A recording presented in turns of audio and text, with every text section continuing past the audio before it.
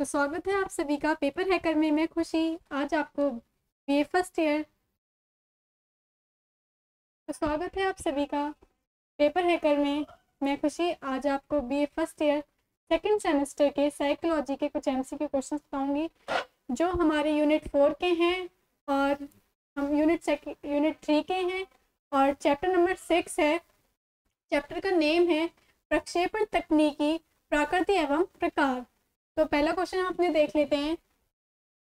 पहला क्वेश्चन है T A T परिषण का निर्माण किया है। यहाँ पे पूछा है टी ए टी परिषण का निर्माण किया है। अब ऑप्शन देखेंगे। ऑप्शन ए है, मरे एवं मार्गन ने। ऑप्शन बी है, बैलक ने। ऑप्शन सी है, बिने ने। या ऑप्शन डी है, हरमन रोशा ने। तो राइट ऑप्शन क्या होगा? राइट ऑप्शन होगा ऑप्शन नंबर ए, यानी कि मरे एवं मार्गन ने टी परीक्षण का निर्माण किया था। क्वेश्चन नंबर टू देखेंगे। टी परीक्षण में कितने कार्ड्स होते हैं? क्वेश्चन ने पूछा टी परीक्षण में कितने कार्ड्स होते हैं? अब ऑप्शन देखेंगे। ऑप्शन ए है दो कार्ड्स, ऑप्शन बी है दस कार्ड, ऑप्शन सी है बीस कार्ड, ऑप्शन डी है इकतीस कार्ड। तो राइट ऑप्शन इसका क्या होगा? राइट ऑप्शन होगा इसका ऑप्शन नंबर डी यानी कि इकतीस कार्ड कितने कार्ड होते हैं? टी एटी परीक्षण में इकतीस कार्ड होते हैं। क्वेश्चन नंबर थ्री देखेंगे। बेलिक ने टी एटी परीक्षण के फलांकन और विश्लेषण के कितने चरण बताए हैं? यहाँ पे क्वेश्चन ने पूछा बेलिक ने टी एटी परीक्षण के फलांकन और विश्लेषण के कितने चरण बताए हैं? अब ऑप्शन ए देखेंगे। ऑप्शन ए है, दो परीक्षण ऑप्शन बी है, पाँच परीक्षण ऑप्शन सी है, दस परीक्षण ऑप्शन डी है, पंद्रह परीक्षण तो राइट ऑप्शन राइट ऑप्शन क्या होगा इसका? राइट ऑप्शन होगा। ऑप्शन नंबर सी यानी कि दस परीक्षण कितने परीक्षण कितने बताए, कितने विश्लेषण बताए हैं? दस दस बताए हैं। क्वेश्चन नंबर फोर देखेंगे। क्वेश्चन नंबर फोर है रोडशा स्याही धब्बा परिषद का निर्माण किया था। क्वेश्चन ने पूछा रोडशा स्याही धब्बा परिषद का निर्माण किया था, किसने निर्माण किया था उसका? तो ऑप्शन ए है बेलेक ने किया था, ऑप्शन बी है कैटेल ने किया था, ऑप्शन सी है हरमन रोशा ने किया था, ऑप्शन डी है मरे एवं मार्गन ने किया था। तो राइट ऑप्शन क्या होगा? राइट ऑप्शन हो जाएगा ऑप्शन नंबर सी यानी कि हरमन रोशा ने किया था। हम इसके नाम से भी समझ सकते हैं। इसमें भी रोशा है और इनके नेम में भी रोशा है तो किसने किया था? हरमन रोशा ने किया था। क्वेश्चन नंबर फाइव देखेंगे। हल्ट इंक ब्लॉक परिषद द्वारा मौलिक व्यक्तित्व संरचना के लिए संरचना के किन पहलुओं का अध्ययन किया जाता है? अब यहाँ क्वेश्चन ने पूछा है हल्ट इंक ब्लॉक परिषद द्वारा मौलिक व्यक्तित्व संरचना के लिए किन पहलुओं का अध्ययन किया जाता है। अब ऑप्शन देखेंगे। ऑप्शन ए है ज्ञानात्मक पहलू ऑप्शन बी है क्रियात्मक पहलू ऑप्शन सी है भावात्मक पहलू ऑप्शन डी है उपरोक्त सभी। तो राइट ऑप्शन क्या होगा? राइट ऑप्शन होगा हमारा ऑप्शन नंबर डी यानी कि उपरोक्त सब, सभी, यानी कि सारे पहलुओं का अध्ययन किया जाता है। हम अपनी दूसरी यूनिट देखेंगे। ये यूनिट हमारी फोर है और यूनिट का चैप्टर नंबर सेवन रहेगा। तो यूनिट का नेम है साइकोमेट्रिक परीक्षण एवं मानदंड। तो अब इसका हम क्वेश्चन देख लेते हैं। पहला क्वेश्चन है हमारा, परीक्षण वैधता घनिष्ठ रूप से संबंधित है उसके। अब यहाँ पे किससे संबंधित है उसके? तो यहाँ पे पूछा, परीक्षण वैधता घनिष्ठ रूप से संबंधित है उसके किससे संबंधित है? तो अब ऑप्शन देखेंगे। ऑप्शन ए है उद्देश्यों से ऑप्शन बी है विषय वस्तु से ऑप्शन सी है पाठ्यक्रम से ऑप्शन डी है शिक्षण बिंदु से। तो राइट ऑप्शन क्या होगा? राइट ऑप्शन यहाँ पे होगा। ऑप्शन ए यानी कि उद्देश्य से। किससे संबंधित है? उद्देश्यों से संबंधित है। क्वेश्चन नंबर टू देखेंगे। यदि एक व्यक्ति की परीक्षा, किसी परीक्षण पर बार बार ली जाए और प्रत्येक बार व्यक्ति समान अंक प्राप्त करे तो यह परीक्षण कहलाएगा। अब यहाँ पे क्या पूछा है? एक व्यक्ति की परीक्षा किसी परीक्षण पर बार बार ली जा रही है, उसे एक बार नहीं, कई बार ली जा रही है तो ली जाए और उसके प्रत्येक बार व्यक्ति समान अंक प्राप्त करता है तो यह परीक्षण कहलाएगा। क्या परीक्षण क्या कहलाएगा? तो यहाँ पे ऑप्शन ए दिया है वैध ऑप्शन बी दिया है विश्वसनीय ऑप्शन सी दिया है वस्तुनिष्ठ ऑप्शन डी डी दिया है विभेदनकारी। तो राइट ऑप्शन यहाँ पे क्या होगा? राइट ऑप्शन होगा ऑप्शन नंबर बी यानी कि विश्वसनीय। यही सेम क्वेश्चन हमने यूनिट नंबर थ्री में भी पढ़ा था तो आप इसे याद कर सकते हैं। अब क्वेश्चन नंबर थ्री देखेंगे। जिस परीक्षण में सभी कठिनाई स्तर के पद सम्मिलित किए जाते हैं, उसमें कौन सा गुण पाया जाता है? अब यहाँ पे क्वेश्चन ने कहा हमसे, जिस परीक्षण में सभी कठिनाई स्तर के पद सम्मिलित किए जाते हैं, उसमें कौन सा गुण पाया जाता है? अब ऑप्शन देखेंगे। ऑप्शन ए दिया है वैधता ऑप्शन बी दिया है विश्वसनीयता ऑप्शन सी दिया है विभेदनकारिता ऑप्शन डी दिया है वस्तुनिष्ठता। तो राइट ऑप्शन यहाँ पे क्या होगा? राइट ऑप्शन यहाँ पे होगा ऑप्शन नंबर सी यानी कि विभेदनकारिता। क्या उसमें कौन सा गुण पाया जाता है? विभेदनकारिता का गुण पाया जाता है। क्वेश्चन नंबर फोर देखेंगे। जब कोई प्रेषक या निर्णायक किसी व्यक्ति के निष्पादन को देखकर प्राय एक ही अंक प्रदान करते हैं। यह परीक्षण के किस गुण की ओर संकेत करता है? यहाँ पे क्वेश्चन ने कहा,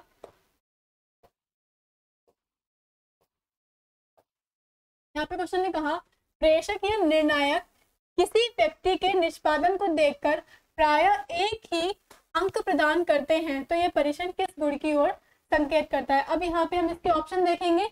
ऑप्शन ए है वस्तुनिष्ठता की ओर।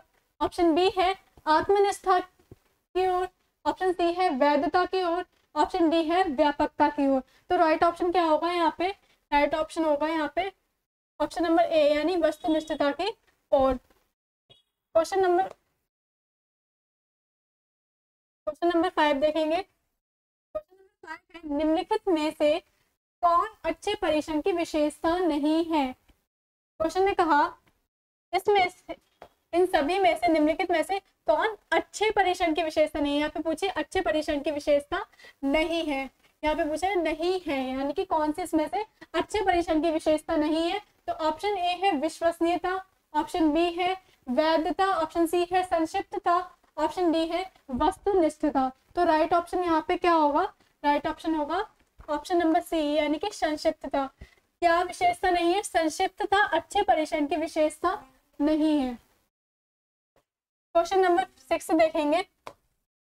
जब कोई परीक्षण वही मापता है, जिसके मापन करने का प्रयोजन होता है, वह परीक्षण कहा जाता है। अब यहाँ पे क्वेश्चन ने कहा, जब कोई परीक्षण वही मापता है, जो उसके मापन करने का प्रयोजन होता है, वह परीक्षण कहा जाता है। उस परीक्षण को क्या कहते हैं? तो ऑप्शन ए दिया है, विश्वसनीयता ऑप्शन बी दिया है, प्रमाणिकता ऑप्शन सी दिया है वैध और ऑप्शन डी दिया है वस्तुनिष्ठ। तो इसका राइट ऑप्शन क्या होगा? राइट ऑप्शन होगा ऑप्शन नंबर सी यानी कि वैध। उस परीक्षण को क्या कहा जाता है? उस परीक्षण को वैध परीक्षण कहा जाता है।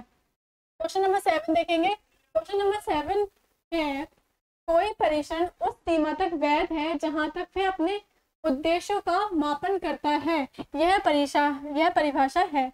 यहाँ पे पूछा है, यह परिभाषा है, किसने कहा है? तो ऑप्शन ए है गिलफोर्ड की ऑप्शन बी है एम वर्मा की ऑप्शन सी है फ्री मैन की ऑप्शन डी है वॉच की। तो राइट ऑप्शन यहाँ पे क्या होगा? राइट ऑप्शन होगा ऑप्शन नंबर ए यानी कि गिलफोर्ड की। किसकी परिभाषा ही यह है गिलफोर्ड की परिभाषा है क्वेश्चन नंबर एट देखेंगे। यदि कोई परीक्षण विभिन्न अवसरों पर संगत परिणाम देते हैं तो इसे कहते हैं। अब यहाँ पे क्वेश्चन ने कहा यदि कोई परीक्षण विभिन्न अवसरों पर संगत परिणाम देते हैं तो उसे कहते हैं, क्या कहते हैं उसको? तो ऑप्शन देखेंगे। ऑप्शन ए है, वैध परीक्षण ऑप्शन बी है, अध्यापक निर्मित परीक्षण ऑप्शन सी है, विश्वसनीय परीक्षण या ऑप्शन डी है, इनमें से कोई नहीं। तो राइट ऑप्शन क्या होगा यहाँ पे?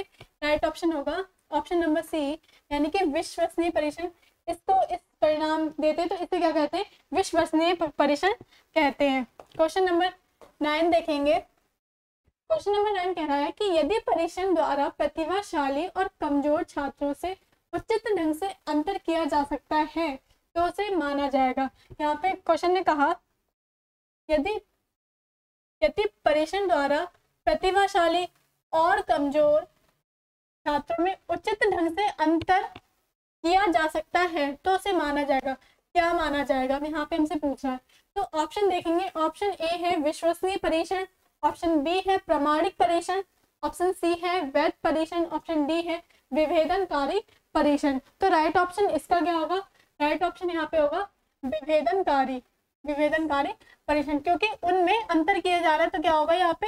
विभेदनकारी परीक्षण हो जाएगा। क्वेश्चन नंबर टेन देखेंगे क्वेश्चन नंबर टेन कह रहा है, अच्छे परीक्षण की कसौटी तो है उद्देश्य पूर्णता व्यापकता और सुगमता।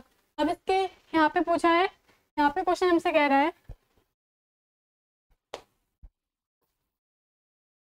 यहाँ पे पूछा है, अच्छे परीक्षण की डैश यानी कि इसमें हमें फिल करना है, कसौटी है, उद्देश्य पूर्णता, व्यापकता और सुगमता। तो अब इसके ऑप्शन देखेंगे। ऑप्शन ए है तकनीकी ऑप्शन बी है प्रमाणिक ऑप्शन सी है व्यावहारिक ऑप्शन डी है इनमें से कोई नहीं। तो राइट ऑप्शन इसका क्या होगा? इसका राइट ऑप्शन होगा ऑप्शन नंबर सी यानी कि व्यवहारिक। कैसी अच्छे परीक्षण की व्यावहारिक कसौटी है उद्देश्य पूर्णता व्यापकता और सुगमता। क्वेश्चन नंबर इलेवन देखेंगे अब। क्वेश्चन नंबर इलेवन है निबंधात्मक प्रश्न का प्रकार है। अब क्वेश्चन यहाँ पे कह रहा है, निबंध आत्मक प्रश्न का प्रकार है। तो अब ऑप्शन देख लेते हैं। लघु उत्तरीय प्रश्न ऑप्शन बी है दीर्घ उत्तरीय प्रश्न ऑप्शन सी है लघु एवं दीर्घ उत्तरीय प्रश्न। ऑप्शन डी है, प्रयोगात्मक प्रश्न। तो राइट ऑप्शन इसका क्या होगा? राइट ऑप्शन होगा ऑप्शन नंबर सी यानी लघु एवं दीर्घ उत्तरीय प्रश्न। क्वेश्चन नंबर ट्वेल्व देखेंगे वस्तुनिष्ठ प्रश्न का प्रकार है। यहाँ पे क्वेश्चन ने पूछा, वस्तुनिष्ठ प्रश्न का प्रकार है। तो अब ऑप्शन देखेंगे, चयन प्रश्न ऑप्शन बी है मौखिक प्रश्न ऑप्शन सी है लघु प्रश्न ऑप्शन डी है दीर्घ प्रश्न। तो इसका क्या होगा?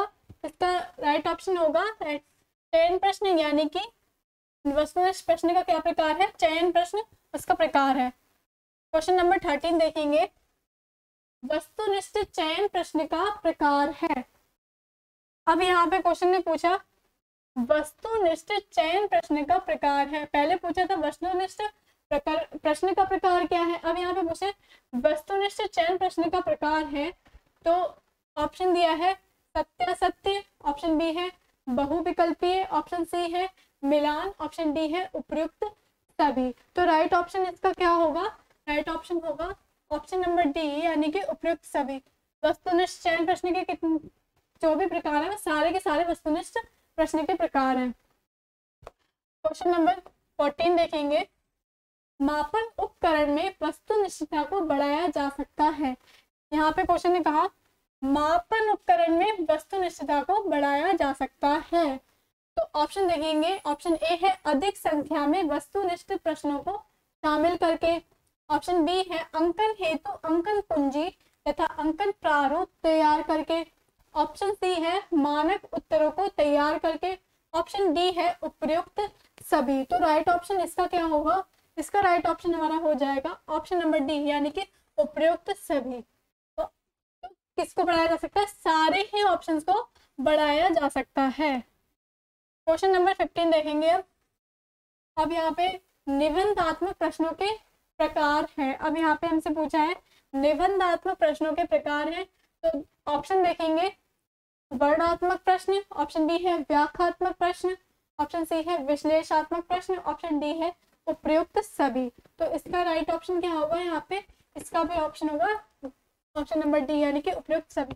सारे के सारे जो प्रकार है, वो निबंधात्मक प्रश्नों के प्रकार है। क्वेश्चन नंबर सिक्सटीन देखेंगे अब। निबंधात्मक परीक्षण का उपयोग किया जाता है जब। अब यहाँ पे देखना है, निबंधात्मक परीक्षण का उपयोग किया जाता है। जब कब किया जाता है इसका? तो ऑप्शन देखेंगे। ऑप्शन ए है परिचित समूह में कम छात्र हो। ऑप्शन बी है, छात्रों को लिखित भाव अभिव्यक्ति को देखना हो। ऑप्शन सी है जब छात्रों की अभिवृद्धि की जानकारी अर्जित करनी हो। ऑप्शन डी है उपयुक्त सभी। तो इसका राइट ऑप्शन क्या होगा यहाँ पे? इसका राइट ऑप्शन होगा ऑप्शन नंबर डी यानी कि उपयुक्त सभी। कब किया जाता है? जब ये सारे ही कंडीशंस हो। अब क्वेश्चन नंबर सेवनटीन देखेंगे। क्वेश्चन नंबर सेवनटीन है, निम्नलिखित में से कौन वस्तुनिष्ठ प्रकार का प्रश्न नहीं है? अब यहाँ पे पूछा है कौन वस्तुनिष्ठ प्रकार का प्रश्न नहीं है? यहाँ पे क्वेश्चन ने पूछा है, नहीं है। तो ऑप्शन दिया है, बहुविकल्पीय प्रश्न ऑप्शन बी दिया है, एकांतर पद ऑप्शन सी दिया है लघु उत्तरीय प्रश्न ऑप्शन डी दिया है, मिलान प्रश्न। तो राइट ऑप्शन इसका क्या होगा? राइट ऑप्शन होगा ऑप्शन नंबर सी यानी कि लघु उत्तरीय प्रश्न, वस्तुनिष्ठ प्रकार के प्रश्न के नहीं है। क्वेश्चन नंबर 18 देखेंगे। निम्नलिखित में से कौन पुनः स्मरण प्रकार का, वस्तुनिष्ठ प्रकार का प्रश्न नहीं है? यहाँ पे कहा, कौन पुनः स्मरण प्रकार का, वस्तुनिष्ठ प्रकार का प्रश्न नहीं है? अब ऑप्शन देखेंगे। ऑप्शन ए है बहुविकल्पीय प्रश्न। ऑप्शन बी है पूर्ति पद। ऑप्शन सी है मिलान पद। Option C option option C है ऑप्शन डी है वर्गीकरण पद। तो राइट ऑप्शन यहाँ पे क्या होगा? राइट ऑप्शन है हमारा ऑप्शन नंबर बी यानी कि पूर्ति पद।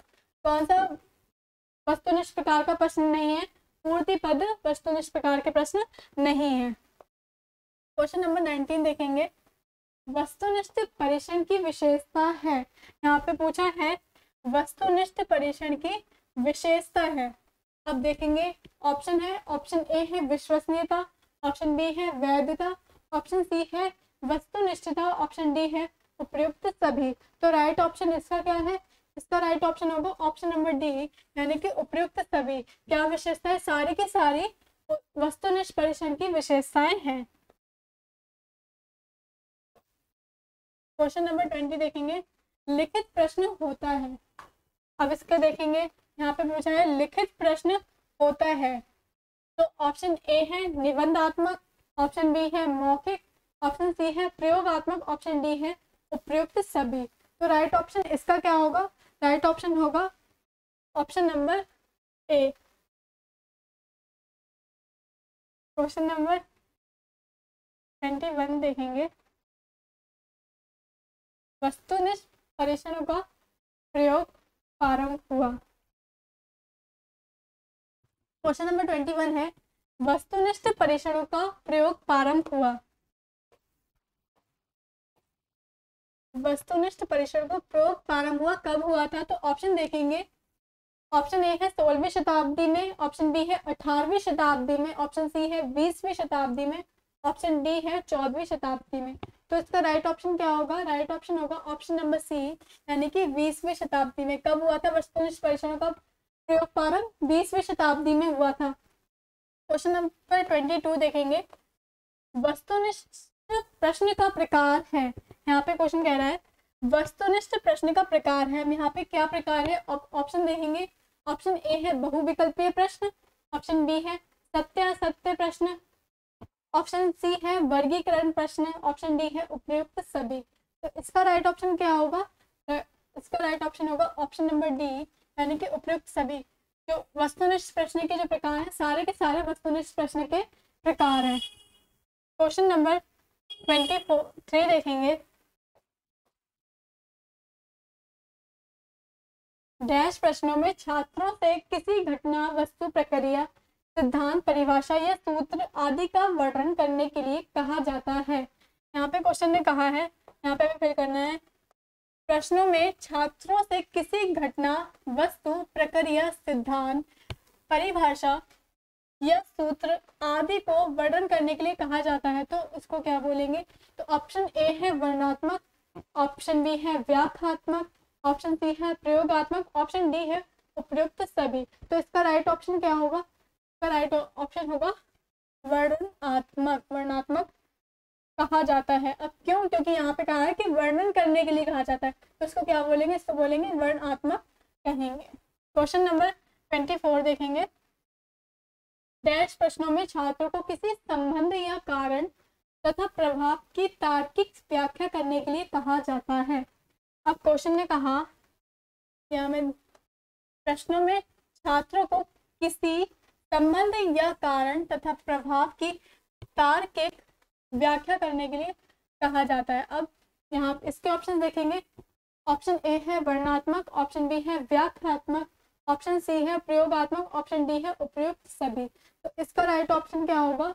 इसका राइट ऑप्शन होगा व्याख्यात्मक।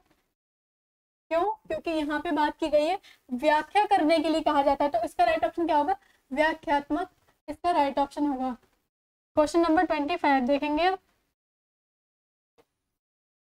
विश्वसनीयता ज्ञात करने की सबसे लोकप्रिय विधि निम्नांकित में से कौन सी है? विश्वसनीयता ज्ञात करने के लिए। सबसे लोकप्रिय, प्रिय विधि निम्नांकित में से कौन सी है? अब ऑप्शन देखेंगे। ऑप्शन है विवेकार्थ विश्वसनीयता विधि। ऑप्शन बी है रूलन सूत्र। ऑप्शन सी है प्ले प्लेनेकन सूत्र। ऑप्शन डी है कोडर रिचार्डसन सूत्र। तो इसका राइट ऑप्शन क्या होगा?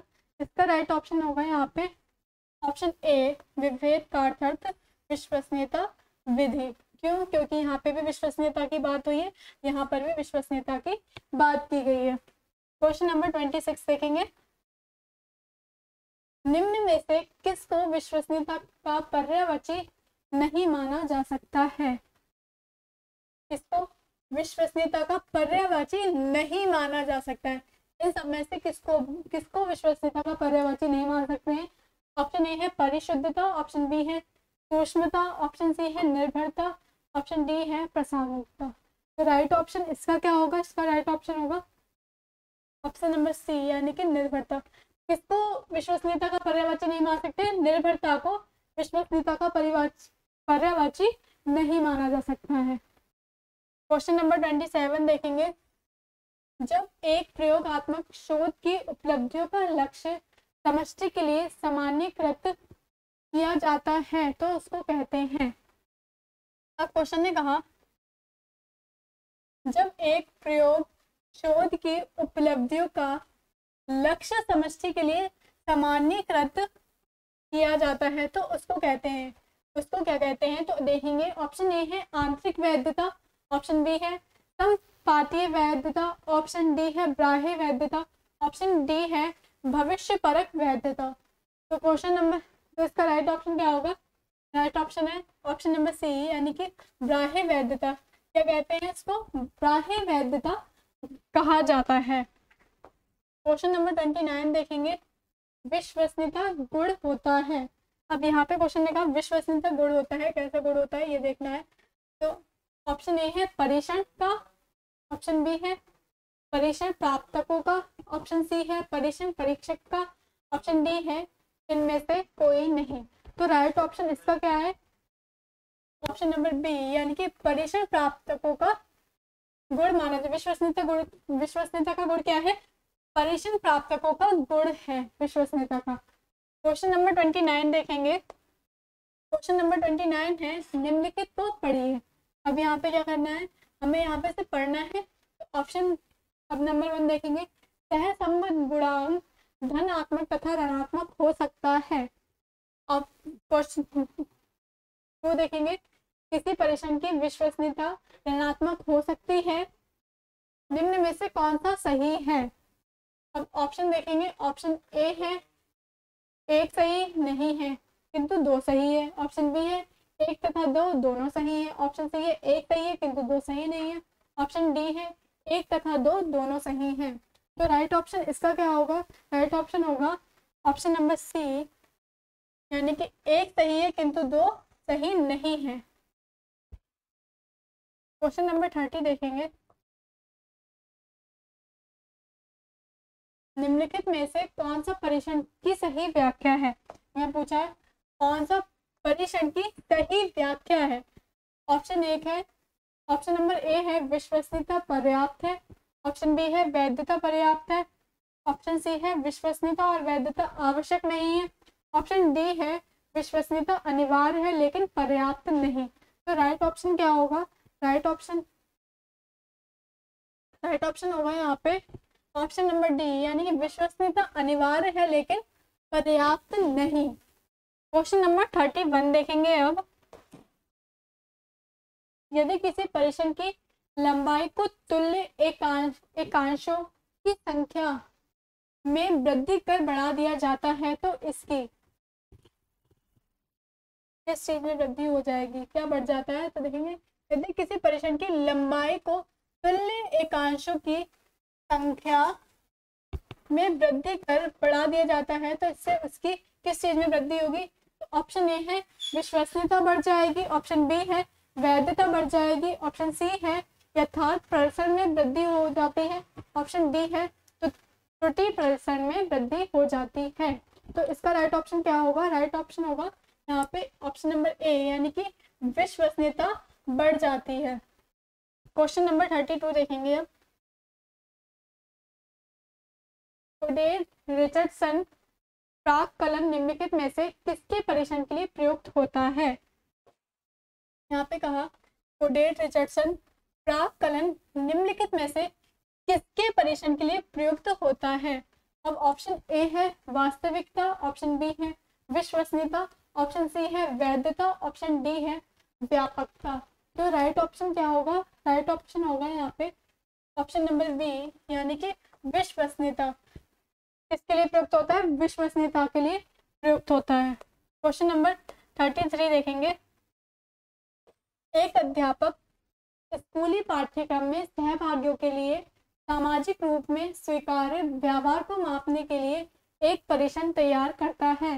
इसके लिए किस प्रकार की विश्वसनीयता महत्वपूर्ण मानी जाएगी? अब यहाँ पे क्वेश्चन ने कहा, एक अध्यापक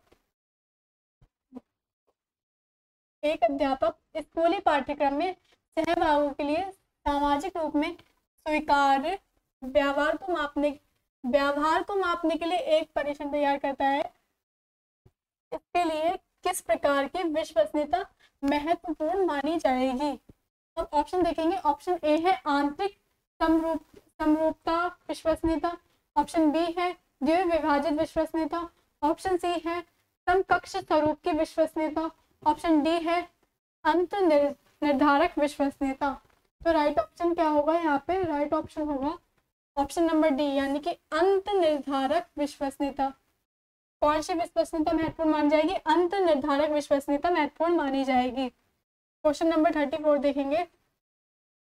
एक अच्छे शोध उपकरण की पहचान किस आधार पर होती है? क्वेश्चन ने कहा, अच्छे शोध उपकरण की पहचान किस आधार पर होती है? ऑप्शन ए है बाज़ार में उपलब्धता की ऑप्शन बी है, उसके प्रयोग और व्यवहार की आसानी की ऑप्शन सी है, प्रामाणिकता के साथ युक्त वैधता सूचकांक की ऑप्शन डी है, इनमें से कोई नहीं। तो राइट ऑप्शन क्या होगा यहाँ पे? राइट ऑप्शन होगा। ऑप्शन नंबर सी यानी प्रमाणिकता के साथ युक्त वैधता सूचकांक होती है। क्वेश्चन नंबर थर्टी फाइव देखेंगे। गुणात्मक अनुसंधान अभिकल्प में आंतरिक विश्वसनीयता का अर्थ है। यहाँ पे क्वेश्चन ने कहा है, गुणात्मक अनुसंधान अभिकल्प में आंतरिक विश्वसनीयता का अर्थ है। अब यहाँ पे ऑप्शन देखेंगे, सूचना का चयन ऑप्शन बी है, अंतर पर्यवेक्षण विश्वसनीयता ऑप्शन सी है, परिणाम जिस सीमा तक यथार्थ के नज़दीक है ऑप्शन डी है, मापनों की विश्व विशुद्धता तो राइट ऑप्शन यहाँ पे क्या होगा? राइट ऑप्शन होगा ऑप्शन नंबर बी यानी अंतर पर्यवेक्षण विश्वसनीयता। इसका क्या अर्थ होगा? अंतर पर्यवेक्षण विश्वसनीयता होगा। क्वेश्चन नंबर थर्टी सिक्स देखेंगे अब।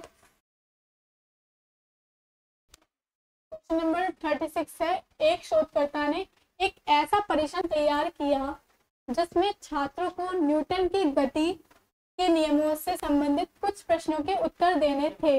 बाद में प्राप्तकों को कक्षा में दिए गए एक अन्य परीक्षण पर प्राप्त अंकों से मिलाया गया, जो उसी विषय वस्तु पर था। यहाँ किस प्रकार की वैधता का निरीक्षण किया गया है? अब यहाँ पे हमसे क्या पूछा गया है? किस प्रकार की वैधता का निरीक्षण किया गया है? अब ऑप्शन ए है कॉन्स्टेबल वैधता ऑप्शन बी है विषय वस्तु वैधता ऑप्शन सी है भविष्यवाचक वैधता ऑप्शन डी है समवर्ती वैधता। तो इसका राइट ऑप्शन क्या होगा यहाँ पे? इसका राइट ऑप्शन होगा हमारा ऑप्शन नंबर ए यानी कि कॉन्स्ट्रक्ट वैधता। क्वेश्चन नंबर थर्टी सेवन है, मनोवैज्ञानिक हेनरी ए मरे द्वारा बनाया गया टी एटी पारस्परिक संबंधों की धारणा का आकलन करने के लिए चित्र कार्डों की एक मानक श्रृंखला का उपयोग करता है।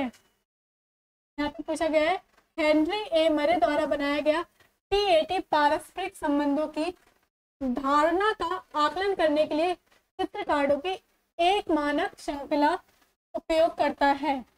अब हम देखेंगे, ऑप्शन नंबर ए है twenty nine, option number B है thirty, option number thirty, option number C है thirty one, option number D है थर्टी टू। तो इसका राइट ऑप्शन क्या होगा? राइट ऑप्शन होगा यहाँ पे ऑप्शन नंबर सी यानी कि थर्टी वन कितने कार्डों का उपयोग करता है? थर्टी वन कार्ड्स का वो उपयोग करता है। क्वेश्चन नंबर थर्टी एट देखेंगे। निम्न में से सत्य कथन बताइए। यहाँ पे क्वेश्चन में पूछा है। सत्य कथन बताइए। ऑप्शन देख लेते हैं। निर्धारण मापने में या तो मनोवैज्ञानिक या क्लाइड कुछ विशिष्ट व्यवहार पर एक संख्यात्मक रेटिंग प्रदान करते हैं। ऑप्शन नंबर बी है, अवलोकन में मनोवैज्ञानिक, घर, स्कूल कार्यस्थल या किसी प्राकृतिक व्यवस्था में सामान्य दैनिक दिनचर्या के व्यवहार में व्यस्त रहते हुए क्लाइड का निरीक्षण करना आवश्यक है। ऑप्शन नंबर सी है चिल्ड्रन एपेरसेप्शन टेस्ट यानी कि सी एक प्रक्षेपी व्यक्तित्व परीक्षण है। जिसका उपयोग सामान्य सामाजिक स्थितियों में जानवरों की तस्वीरों के रूप में प्रस्तुत मानकीकृत उत्तेजनाओं के प्रति, बच्चों की प्रतिक्रियाओं में व्यक्तिगत भिन्नताओं का आकलन करने के लिए किया जाता है। ऑप्शन नंबर डी है उपयुक्त सभी। तो इसका राइट ऑप्शन क्या होगा? राइट ऑप्शन होगा। ऑप्शन नंबर डी यानी उपयुक्त सभी। जितने भी सारे ऑप्शन दिए हैं, वो क्या है? सारे के सारे सही कथन हैं। तो मैं आशा करती हूँ कि आप सभी को वीडियो पसंद आया होगा। अगर वीडियो पसंद आया हो तो वीडियो को लाइक करें, शेयर करें और चैनल को सब्सक्राइब करें। Thank you.